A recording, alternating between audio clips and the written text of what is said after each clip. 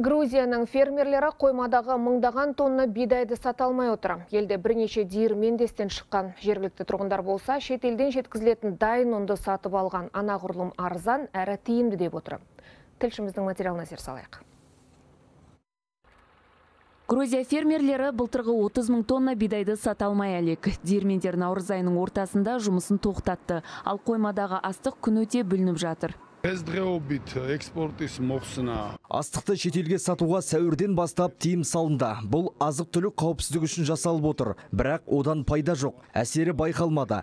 Екі айдан соң алдағы маусымның өнімін жинаймыз. Тіпті оны экспорттауға қайта рұқсат етсе де тиімсіз. Өткен жылмен салыстырғанда баға екесе арзандады.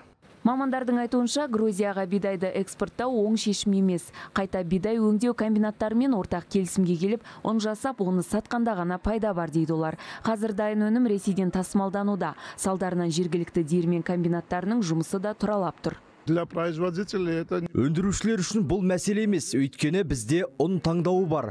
Біз қазір нан бағасын төмендетуді ойлаймыз. Әсіресе әлеуметтік нан елдегі ең көп өндірілетін және сатылатын нанның түрі қымбат болмауы тиіс.